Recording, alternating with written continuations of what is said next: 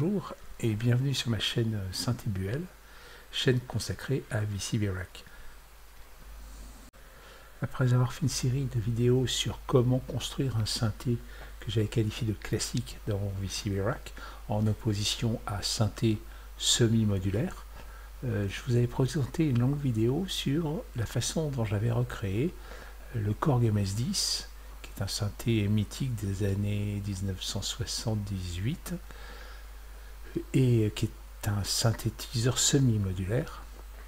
Et à la suite de cela, je vous propose dans cette petite série de vidéos de refaire la même chose, mais avec le MS-20, qui est un, le modèle, le modèle au-dessus du MS-10. on y retrouve pas mal de similarités, heureusement, et euh, qui est conçu, construit de la même façon, avec la même logique de structure de base, avec un panneau principal, des tas de modules que l'on va aborder, une patch bay qui est on ne peut plus dodu et fournie, et qui commence déjà à, ne plus envier grand chose aux, gros synthétiseurs, un clavier et puis des boutons de commande.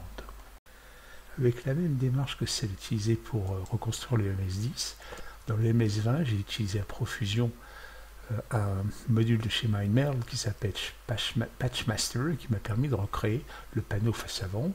Puis euh, j'ai recréé les modules, le patch bay, les modules d'entrée et sortie, des tas de choses qu'on verra, euh, qu'on décrira petit à petit, pour vous montrer une idée du, du montage global. il est quand même assez, assez fourni il n'y a pas énormément de modules, mais ils sont euh, assemblés de manière euh, parfois un petit peu complexe. Et cette fois-ci, j'ai essayé d'aller sur un autre terrain, à savoir essayer de concevoir ce synthé-là, le MS-20 dans, dans VCV Rack, à l'aide de, non pas le synthé que j'avais entre les mains, puisque je ne l'ai pas, je ne le possède pas, mais à partir de plusieurs choses. Un, c'est l'interface, et là je me suis servi largement du synthé du, site web de Korg, euh, euh, korg.co.uk, donc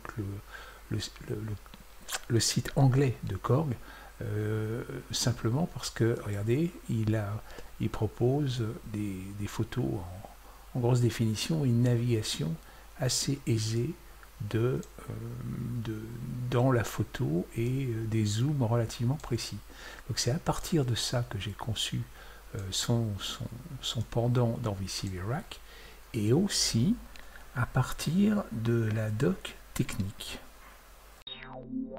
Qu'est-ce que j'entends par la doc technique? En fait, il y avait ce qu'on appelle le Owner's Manual, le manuel, on va dire, utilisateur, dans lequel alors il y a des il y a la façon dont ils proposaient l'assembler avec le MS10 mais aussi leur séquenceur analogique de l'époque. Voilà le MS10, le MS20, le synthé analogique au milieu, une description hein, de, de, toute l'interface et puis surtout ma bibliothèque a été celle-ci, c'est-à-dire le synoptique global euh, de, de la façon dont a été conçu le, MS-20 et je vous montrerai comment lire petit à petit ce diagramme-là. Et c'est à partir de ça et de l'interface euh, qu'on a vu juste avant en photo euh, c'est à partir de ces deux éléments-là principalement que j'ai reconstruit le, MS-20 Korg dans sa version VCVRAC. Encore une fois, je vous montrerai tout ça de pas à pas ce qui m'a amené à concevoir, à structurer les vidéos d'une manière un peu particulière, à savoir que je vais essayer de vous les décrire ici, sur l'interface de la machine, vous faire écouter ce à quoi ça correspond euh, au niveau sonore avec ce que j'ai construit dans VCV Rack, vous en montrer le pendant côté diagramme de bloc, et puis, et puis j'allais dire surtout, comment j'ai implémenté ça dans VCV Rack. On découvrira ça petit à petit. Je me suis dit que de vous présenter d'un seul bloc que VCV Rack ou que les sons ou que le synoptique, euh, j'allais m'étouffer le premier, avant, avant vous. Voilà. Pour pigmenter un peu le tout, je vous présenterai au fur et à mesure ce que j'ai appelé les réglages d'usine. C'est-à-dire, je les ai marqués avec des étiquettes setup. C'est-à-dire que c'est ce qui correspond en fait souvent aux petites pastilles en plastique, en caoutchouc qui sont sur les faces avant des appareils électroniques et qui, à la, chaîne, la fin de, de chaîne de montage, euh, reçoivent un petit tournevis et euh, qui permettent aux techniciens d'ajuster, de, régler l'appareil avant qu'il sorte d'usine. Ben là, c'est pareil, j'ai essayé d'imaginer au fur et à mesure qu'est-ce qui serait nécessaire d'effectuer comme réglage avant que VCVRAC fonctionne comme un, un, vrai MS10, en tous les cas, au plus près. Donc euh, là, vous en avez plein sur les VCF. Vous en avez quelques-uns ici sur un, j'ai appelé le VCO2, la modulation, la, pitch modulation, et je vous expliquerai le pourquoi du comment. Et c'est assez, c'est assez intéressant, je trouve. C'est assez intéressant. Et c'est ce qui correspond à, certains euh, montages de VC Rack qu'on trouve sur Patch, euh, Patch, je sais plus quoi, le site.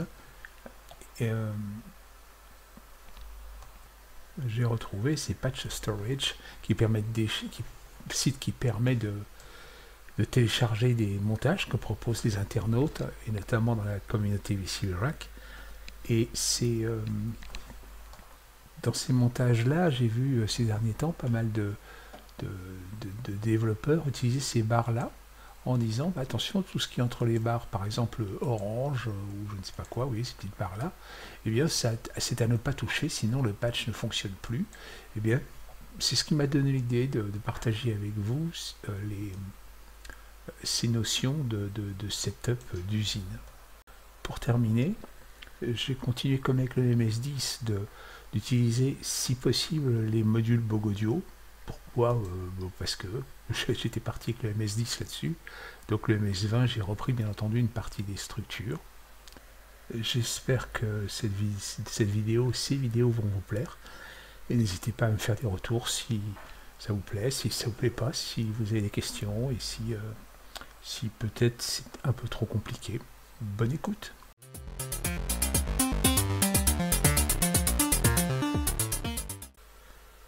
Commençons par le tour du propriétaire, le Korg MS-20, qui est sorti quasiment en même temps que le MS-10, je ne sais plus si c'était un peu après ou en même temps.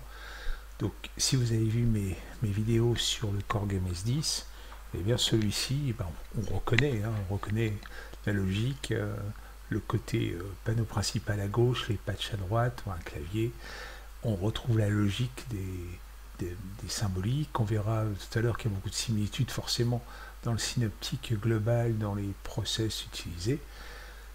Euh, juste pour info, cette, cette balade, là je vous la ferai avec une image euh, qui est assez intéressante parce qu'on peut zoomer euh, dans tous les sens et se déplacer dans, cette euh, photo du MS-20 et elle est proposée par, par korg.co.uk et c'est la seule que j'ai trouvée avec ce type de navigation dans la photo mais aussi avec la haute définition quand on zoome et ça pour l'exercice de style qu'on va faire ensemble à savoir reconstruire dans VCVRAC un MS10, un MS20 Korg, bah, je dirais qu'on a, euh, c'est important de pouvoir, voyez, euh, lire toutes les pattes de mouche de l'interface homme-machine.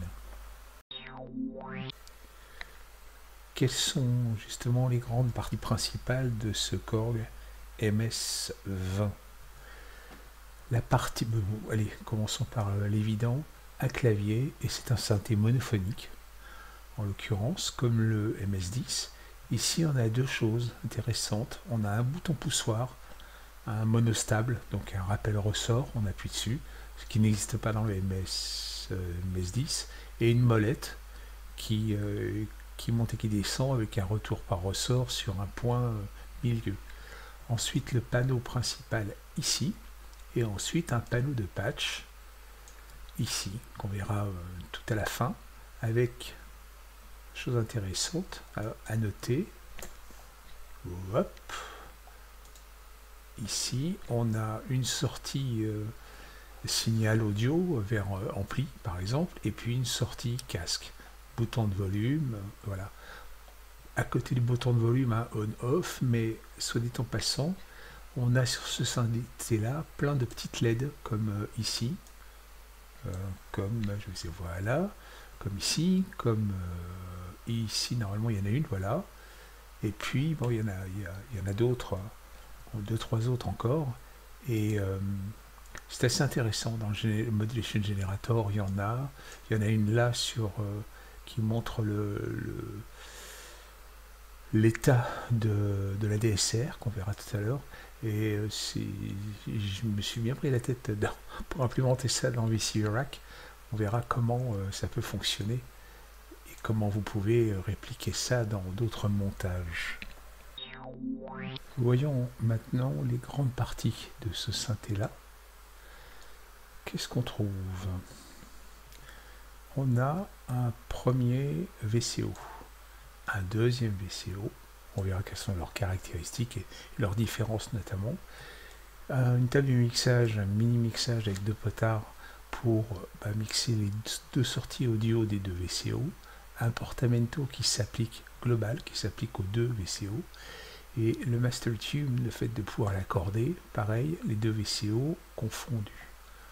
Ensuite, là, on arrive à un truc qui a fait, euh, mon sens, qui a fait que le MS-20, les sons du MS-20 étaient complètement euh, incroyables pour l'époque et qui continuent à être assez incroyables. Ils ont marqué le MS-20 comme le MS-10 ont vraiment marqué l'histoire des synthés à mon sens. Et, c'est pour ça d'ailleurs qu'on en retrouve tout un tas de répliques aujourd'hui. Euh, ce sont deux filtres. Et on verra quelles sont leurs particularités, notamment ici un filtre passe haut, puis un filtre passe bas. Arrive ensuite, je vais enlever, enlever ça, arrive ensuite en fait euh, un ADSR, mais aussi un ADSR ici. Et en fait, ADSR, vous vous souvenez, c'est l'acronyme de euh, Attack Decay System Release. Et là, on voit qu'il y a un bouton en plus, dont on parlera tout à l'heure. Donc, le terme générique qu'on va utiliser, qui avait utilisé euh, Korg euh, pour les MES, MES 10 et MES 20, c'est enveloppe générateur, EG. Vous allez trouver ça un peu partout, vous voyez EG, EG, EG et un autre enveloppe générateur, un deuxième qui porte l'enveloppe générateur 1 et celui-ci c'est le 2 qui est un petit peu plus réduit, il a un attack, un release et il un decay time. Euh, on verra qu'est-ce que c'est que ce, bouton là par la suite. Nous avons un modulation generator, c'est un truc comme son nom l'indique qui va nous gérer à une fréquence donnée des tops avec des formes de signaux particulières et ici toute une partie, on va dire, de modulation qui va recevoir ses ordres d'un peu partout, de l'enveloppe générateur 1, du 2, du modulation generator, d'entrée externe, et euh, qui va nous occuper un bon moment. C'était quelque chose d'une richesse absolument incroyable. Sur la partie droite de la face avant se trouve euh, un deuxième panneau, c'est le panneau de patch dans lequel eh ben, on peut patcher dans tous les sens, des entrées, des sorties. Si vous avez vu mon, ma série de vidéos sur le MS10, vous verrez qu'il y a des, ici des, des inputs, alors des outputs bien entendu, des inputs comme ici, où vous pluguez, là on rentre une horloge, ici, comme celui-là, et puis des inputs de type jack de coupure, c'est-à-dire que comme là, a rien, le signal, le synaptique nous dit que le signal passe comme ça, si on plug quelque chose, on interrompt cette alimentation-là, et euh, ce qui arrive au VCF ici, c'est le signal qui arrive dans le jack. Donc il y a plein de jacks de coupure, là encore. Et la particularité de ce panneau de patch, c'est que, oups, c'est qu'il y a ce qu'ils appellent un external signal processor, c'est-à-dire un processeur de signal externe. C'est-à-dire qu'on plug ici un signal qui vient de soit d'une sortie audio de ce synthé, soit d'un autre instrument, une guitare ou un autre synthé, ce que vous voulez. Et il y a un process, process assez intéressant avec des enveloppes follower, avec des détecteurs de, de, de fréquences de signal, et tout ça transformé en trigger avec euh, ces réglages-là, ce qui permet de, bah, de récupérer des, des commandes voltage pour les réinjecter, pour contrôler différentes choses euh, du synthé.